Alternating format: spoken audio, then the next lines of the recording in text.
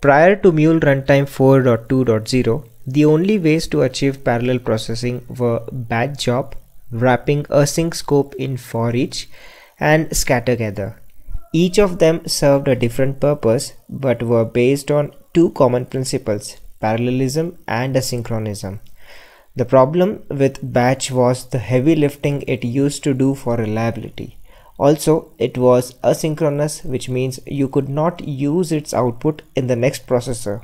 Although you could use an aggregator to do the same, but overall it was an overkill for simple transformations of huge payloads. Async scope is lightweight, but as it's asynchronous, we cannot accumulate the data right away unless we do some workaround. Scattergather just scatters the same payload across multiple routes but does not split the payload. Thanks to parallel for each scope which was built just to serve the same purpose.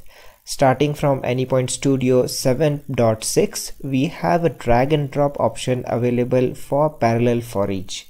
In this video, we'll try to play around the parallel for each scope and also understand the role of max concurrency and its optimum value. I've added the video timestamps in the description below. You can use them to navigate throughout the different sections of this video. So let's get started with the demo. I have already dragged and dropped a parallel for each scope. You can search it in the Mule palette. Make sure that you have the latest version of Anypoint Studio. As of now, it's 7.6 so I've already configured this parallel for each. So let's see at the configuration. Uh, in the collection I am initializing it with an array uh, which starts from 1 and ends uh, to on 10 then we can also optionally specify a timeout that how long that the uh, route should run because in this case we'll have 10 routes because it's from 1 to 10 so there will be 10 uh, parallel routes so we can uh, specify timeout for the routes uh, max concurrency will come to this later on. Uh, as of now it's the amount of parallelism that we can have and by default mule if not specified mule optimizes it as uh, per the resources available uh, then target you can specify any target variable name and the value will be pushed to that uh, target. For example here it's payload and we did not specify anything so it will be available in payload. But if you give any name uh, any variable name uh, it will be available in that variable outside the for each scope. So that's about the parallel for each scope and let's see what I've done in the flow so I've uh, added uh, a variable named accumulator which is initialized with an empty array. So what I'm trying to do is I'm trying to accumulate the values in this accumulator whatever happens in parallel for each I'm trying to accumulate it uh, outside the parallel for each uh, as just as the way we do in uh, the for each scope. Then I've added a logger to record the state of uh, accumulator. So initially it will be blank. So it will be printing the accumulator for each route. Then we have uh, we are printing the payload that is coming to parallel for each so that would be the numbers ranging from 1 to 10 then I'm trying to add the value to the accumulator. So the payload that is 1 2 to 10 will be added to accumulator. Then I'm also initializing a new local variable uh, named as local and then in the logger outside the parallel for each I'm printing the payload and then I'm uh, trying to print the accumulator to see if this accumulator got changed or it remains as it is. And then I have uh, tried to print the variable local which was created in the parallel for each scope. And then finally I have a transform uh, getting the payload from uh, output of the parallel for each so let's try to run this uh, program and see the output. So I've deployed the application and also triggered a request from the browser. And over here we can see that we have uh, re received uh, the whole payload that went through the parallel for each so now let's analyze the logs what we have got and as we can see it's printing the blank array. So this is done by the first logger. And we can see over here we have vars.accumulator so it's basically printing uh, the accumulator. So what we can understand from this is that none of the routes was were able to modify this accumulator. That is why each of them any of the routes like we had 10 so all of the 10 have printed it as blank. Next we have is the logger which is printing the payload that is being passed by the parallel for each that is from 1 to 10 and let's see what sequence it is. So we can see it's in randomized order. It's 6 1 3 8 so it's it's not the order that which we are sending. It's from 1 to 10 so it should be ideally 1 2 3 4 5 6 7 8 9 and 10 but instead it's random. So it depends upon which thread occupies the cpu first uh, on that basis uh, uh, the cpu time gets allocated and it's printing the logs. And uh, next we have in the next logger we are printing the payload of the parallel for each the output of parallel for each so let's check that. So so it's a big payload and it has it's an array which has multiple fields like inbound attachment names exception payload inbound property. So it, it looks similar to that of list file processor which also outputs the same thing but uh, the main point of interest is the payload that we are having and if you observe we get payload 1 2 3 then 4 then 5 similarly so what we observe over here is that it's in sequence. The sequence that we sent is being maintained in the final aggregated payload. So we need not worry about the sequence. Although it processes it in a random order but at the end the output of uh, the parallel for each uh, has the payload in the sequence form. Then let's move on to the next logger and we are trying to print the accumulator. So let's see are we able to accumulate the values in the accumulator?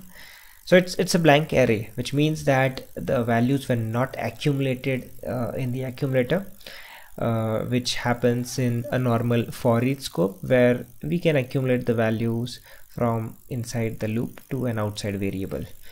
Then we have null value. So it's printed by the last logger which is printing vars.local so the local variable we had initialized inside the parallel for each which was taking in the payload. So that is printed null which means that this particular local variable cannot be accessed outside the parallel for each scope and also it cannot be accessed across multiple routes of the parallel for each scope. So here are the three takeaways from this demo. One is uh, that the processing happens in a randomized order depending on which thread gets the CPU time first and uh, then the accumulated output always maintains the sequence in which the payload was sent to the parallel for each scope. Second is we cannot accumulate the data inside a parallel for each scope using an external variable that's not possible. And the third takeaway is any variable initialized inside a parallel for each scope cannot be accessed outside the parallel for each scope and also it cannot be accessed through multiple routes of the parallel for each scope. So each route is isolated from other route and uh, one more problem can be that since the payload is huge uh, it, it has multiple properties. So if uh, the payload is very huge it, it it can be a it can cause uh, uh some problems. So that's another thing to mm, keep note of. And finally in the transform we are just getting the payload from the payload because the structure is like this. We have the payload and then we have again a field called as payload. So we retrieved all the payload and then sent the response back. So this is the response with the sequence intact. Now let's try to understand the behavior of parallel for each under error scenarios. So to simulate the same I have intentionally made some failures. The idea is that if it the number is even that is payload mod 2 becomes 0 then we pass the payload as it is. Otherwise we fail with an error message as odd number. And the parallel for each still runs from 1 to 10 and then I have added a logger to output the payload to see if it really moves forward or it just stops at the parallel for each scope after completion. So let's check that out. So I've deployed the application and triggered a request from the browser and I can see uh, we are getting errors. So let's just go back to the log and check. I've added a logger also after the transform to see which records have been processed. So we can see all the even numbers 6 2 8 4 10 were processed and the odd numbers are not being logged because they threw exception so it's basically complaining about the route 0 because route 0 had 1 right? And indexes start from the position 0 so uh, the one element was odd. Then we have the route 2 which had the element uh, uh, which was odd. And similarly uh, it's showing the failed records. So the final logger which is present over here which is supposed to print the payload didn't work because uh, the exception occurred. And it usually throws a composite route error and doesn't uh, propagate uh, further. So if unhandled it will stop after the execution of all the routes. So it it didn't uh, stop uh, on failure of one route but it wait uh, it was waiting for all the other routes to complete and then it ended by throwing a composite route exception. Uh, it's the same way as a scatter gather works right? Even in scatter gather uh, if any one route fails it doesn't fail the other route but completes them and then at the end uh, it throws a composite routing error. And the same is done by parallel for each. Now uh, in the next uh, uh, flow what I've done is I've added a try catch block on top of the parallel for each. And even this has the same thing uh, sorting out the even and odd numbers and in case of odd it fails. And I've added an on error continue so that at least we see what is the payload that is being returned by the parallel for each. And uh, in the error on error continue I'm just uh, logging the error type uh, what is the error type being written.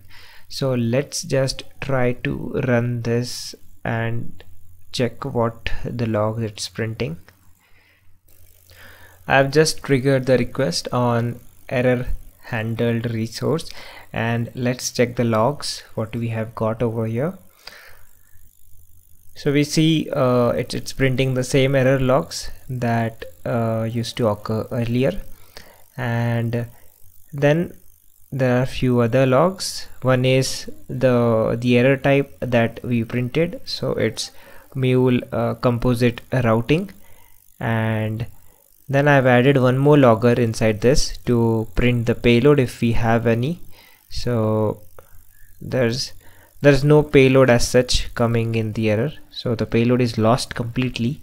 Uh, and uh, then uh, in the last logger message processor again the payload is blank which means that if we handle uh, the error using uh, by surrounding the parallel for each with a try scope we lose the payload. We we don't have uh, the payload that is the other three other five values which succeeded right? We didn't even get the even values as well. We just got a blank payload. So it, it failed uh, completely. Even though it processed the even values it, it didn't return them. So if you surround uh, a parallel for each with a try catch uh, it's not a good idea because you lose the values.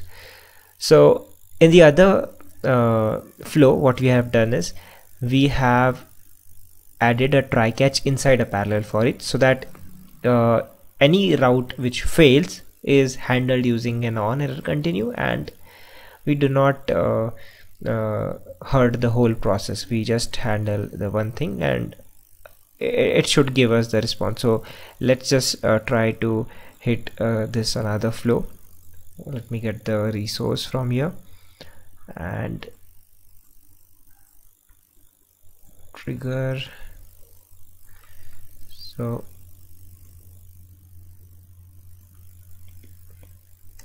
yeah. So it has processed. Let's see the log once. So what do we observe? That despite the errors we have got errors on multiple routes but what we observe over here is that we are getting the response back right? Even the odd values are available in the response. So in this way we can uh, handle uh, the errors using on error continue. Now it is having the same response right? We can optionally add a transform and because it, it, didn't change the payload. The payload is as it is because for 5 it had failed but it was caught and uh, then uh, it ideally should have uh, means we should have added some another value to the payload. But since we didn't do anything it continued with the same payload that it had uh, received. So we can add a transform over here and uh, try to change the value of uh, this particular payload wherever the error occurs. I have made slight modifications to the flow. I have instead added a transform and the transform just replaces the payload with odd because previously we were getting the same payload as is right in the error on error continue so I've added uh, odd string to it so it should have the value as odd so let's go to the logs and uh, just check it once so we have a logger in the on error continue so that particular logger is printing the error type which is mule expression because it failed in transform. And previously it was printing a composite error because it was outside the uh, the try was outside the for each so the for each was throwing the composite error but now it's wrapped uh, it's wrapping the transform. So we are getting mule expression error so for each uh, failed records we are getting the same mule expression error.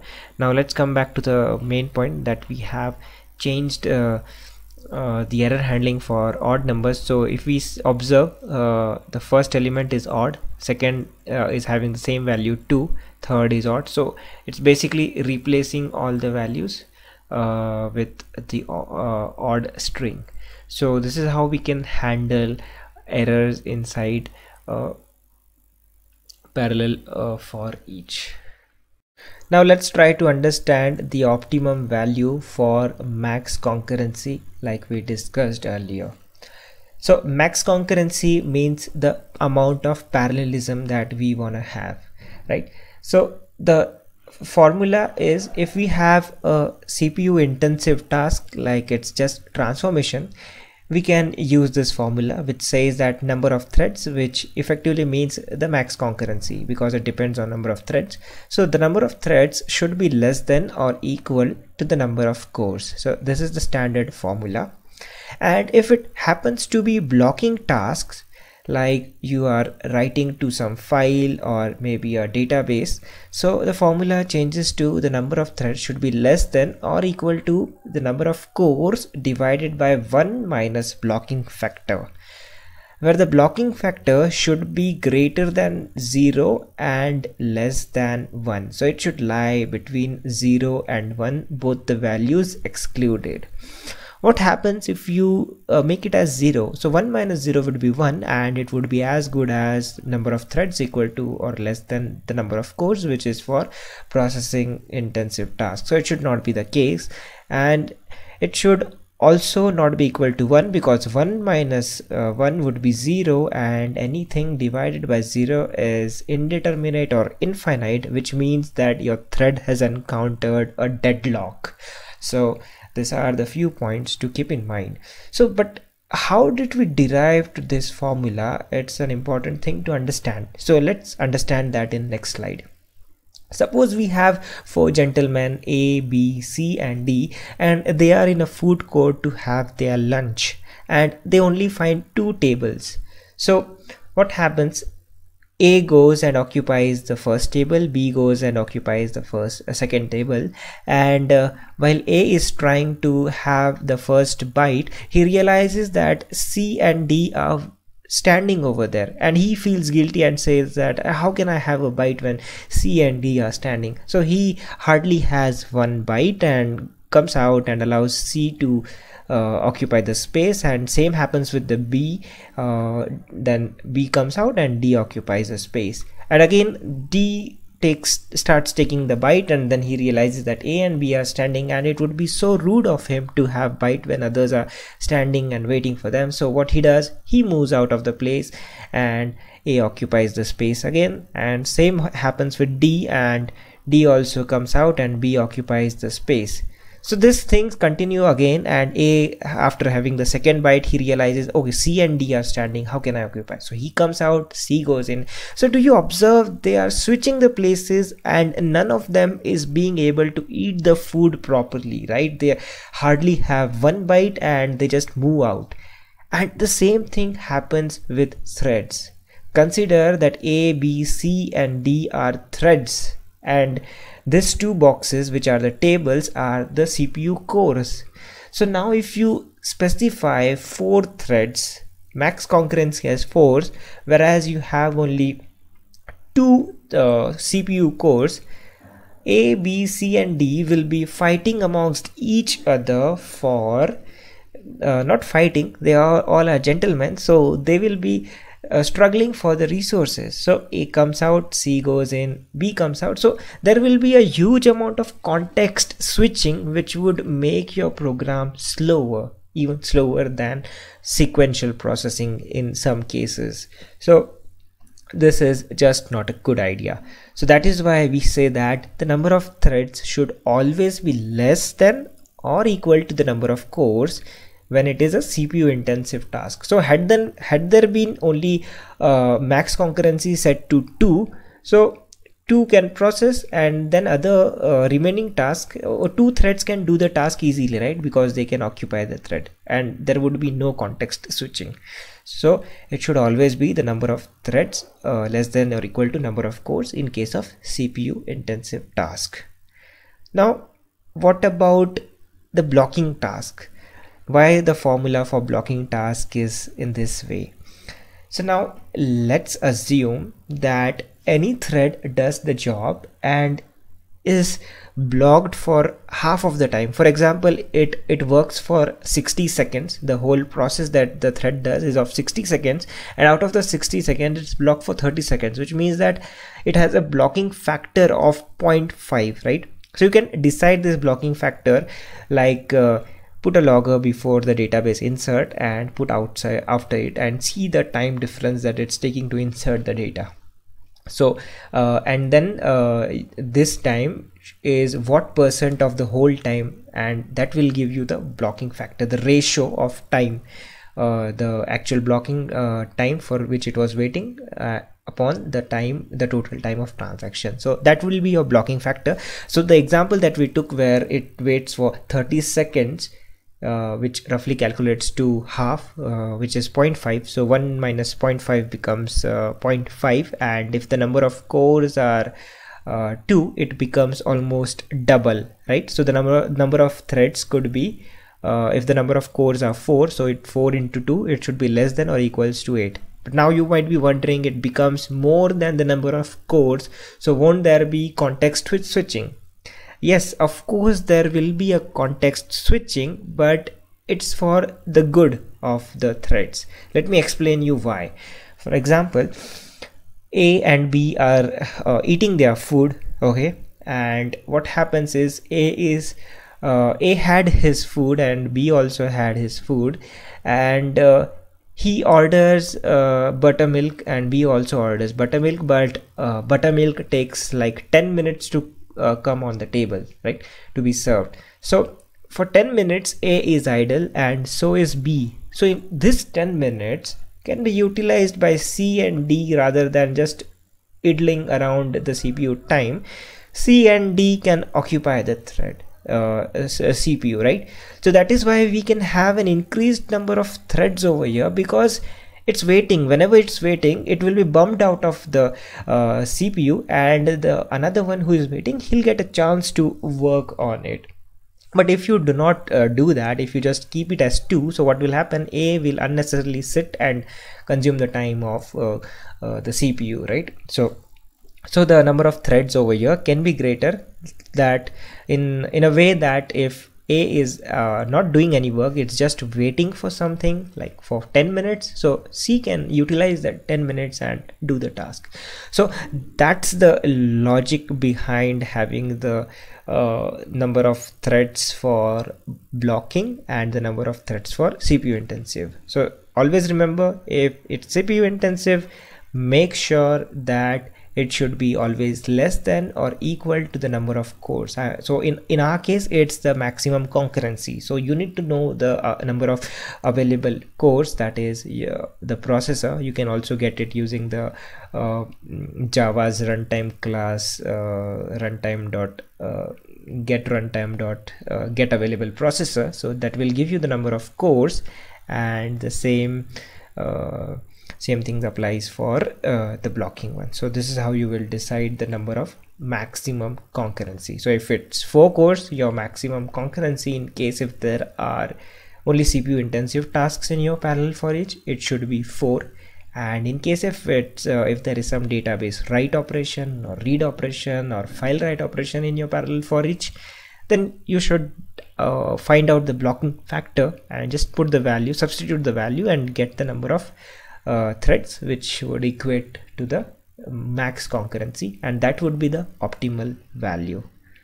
Now here's a graph that shows the performance with respect to the number of threads. So I've considered the number of cores to be 4 and if we observe that uh, the graph is rising linearly with the number of if the number of uh, core uh, threads is 1 and the performance is 100 so now the number of threads increase to 2 it becomes 200 increase to 3 it becomes 300 it it attains a peak at when the number of threads equal to the number of cores it attains a peak of 400 but and considering that the whole process is uh, cpu intensive so we have made that assumption and uh, so, so it's at its optimum level at where the number of threads are equaling the number of cores the moment it exceeds we can see there is a performance loss uh, when the number of cores are less and the number of threads are more than the number of cores. So in in some cases in worst case scenario it the performance could be even bad than a sequential processing. So make sure that if it is cpu intensive it should always be less than or equal to the number of cores and if it is blocking uh, it should be the number of cores divided by 1 minus the blocking factor. Now let's try to apply what we just learned about max concurrency. So in this case I have uh, kept the max concurrency to 4 because I know that I have logical processor as 4 although the cores are 2 uh, the logical processors are 4 that's due to hyper threading so the logical processors are 4 and I can I can also verify using uh, a Java runtime. So let's just uh, try to run this. Uh, let's quickly run as Java application and see the number of cores that we have so it has printed 4 which means we have total of 4 cores available. Now let's move back to our application. It's running. Okay.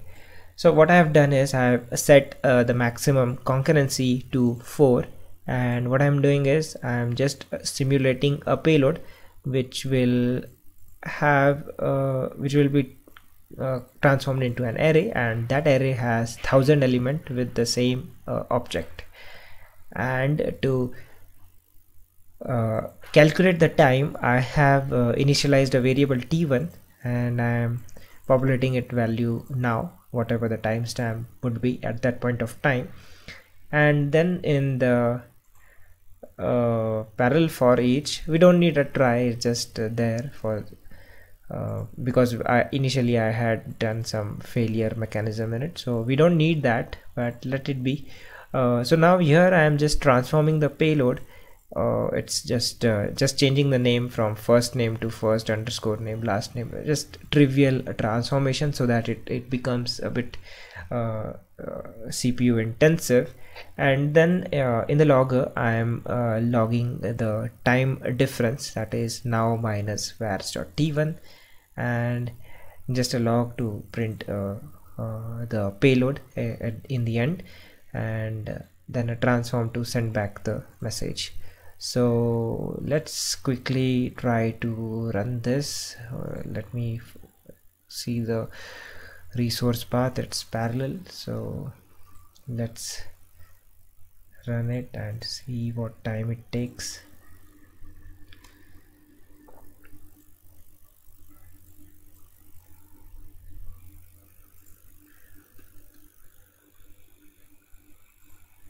okay. So it has printed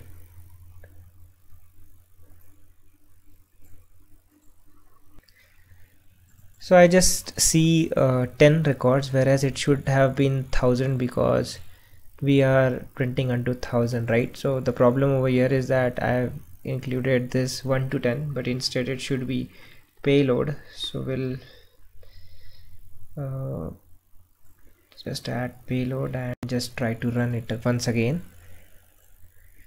Let's wait for it to get redeployed. So I've deployed and uh, re-triggered the request and I do see now there are like around thousand requests coming. Uh, it's truncated but that's fine. Uh, so what do we observe? We can uh, see the time uh, stamp over here right? What's the time so what I'll do is I'll just uh, remove this uh, logger and we'll fire uh, like around 10 requests and see what is the average time that we receive. So let's just remove the payload logger and redeploy the application once again and we'll fire 10 requests so I've uh, redeployed the application and uh, triggered around uh, 10 requests and we do see that on an average it's around uh, 300 uh, milliseconds 0.3 seconds so let me just hit it again and see. so it sometimes takes 0.3 seconds to 4 seconds and uh, sometimes it it goes above one second. So so, so let's uh, assume the 10 readings for the time being. And let's just copy the whole thing. And uh, then what we'll do is we'll try out with the increased number of threads to see how it works. So we have this readings for max concurrency as 4 is 4 now what I'll do is I'll just randomly increase the size. I'll make it as like maybe 4000 and just save it so that it gets redeployed. So I've uh, redeployed the application with uh, max concurrency with an insane amount of 40,000 and I've triggered 11 requests and what do we observe is that it takes 0.7 seconds then 0.37 which can consider it as 0.4 then we have 0.56 0.63 once in a while we got 0.33 that's fine but it's anytime it's above 4.4 uh, right? So it, it will be uh, anywhere between around 0.55 seconds whereas in the previous case we had uh, uh, the values around 0.2 so what we'll do we'll calculate the average of both of them and see which or which one of them comes uh, higher. So now I have segregated the values for max concurrency when it was 4 and when the max concurrency was insanely high as 40,000 so what we'll do we'll calculate the average. We have 11 values in uh, both the cases and obviously uh, if we see if we just glance through the value we see that the max concurrency 4 took less time. But just for accurate result let's do a fair amount of calculation. So let's paste this and okay it's 3.97 let's divide it by 11 and we get it as 3.361 okay so average is average turns out to be 0.361 seconds fair enough. Now let's go when the max concurrency was increased and let's calculate. It's already 5.473 which is high and let's divide by 11 we get 0.498 we can assume round off 0.498 which is roughly close to 0.5 seconds so do we observe that it's it's uh, hardly 0.36 seconds and it goes to around 0.5 seconds. So increasing the concurrency doesn't mean that you will have a good performance. Even if you make it as 1000 that makes no sense because you have only four number of cores so maximum parallelism that you can have will not be more than 4 because the hyper threaded cores that you have is only 4 in the case and when you increase the concurrency it can also give you a disastrous performance when uh, uh, when the CPU processing is very intensive. Here we didn't have much uh, intensive processing. It was hardly a small transformation. But when you uh, uh use a reduce map, uh, map object, uh, all sorts of things, that would be a very taxing task on the CPU and uh, they would be fighting for uh, CPU. Context switching would increase in such cases. So so always remember that if you have CPU intensive task make sure that the number of cores should be equal to or greater than the number of threads which means the thread should be less than or equals to the number of cores. And for blocking threads uh, blocking task you already know it should be number of cores divided by 1 minus uh, the blocking factor. So it's not mandatory that you set this uh, max concurrency. If you do not set this mule automatically takes care of it. Yeah, like see if it, it's mentioning that by default all routes are Uh, uh, all routes will run in parallel assuming available resources. So mule has the inherent capability to fine tune it and you almost don't need to set this max concurrency for cpu intensive tasks. It will do automatically. But in case if you want to fine tune for some blocking task you you should take the control of uh, concurrency because you know how much uh, the task can be blocking by uh, doing out multiple trials and errors. You you might uh, come to a particular value. So so that is how you should uh, uh, fix the max concurrency to get a better performance. And if you otherwise you can leave it blank. Mule will automatically handle it so uh, that is the role that uh, maximum concurrency plays when improving the performance and you should definitely uh, try to uh, derive a better value at which your program runs very efficiently. So that that is all about uh, the parallel for each uh, scope in mule and i hope you might have found the video useful. Thanks for watching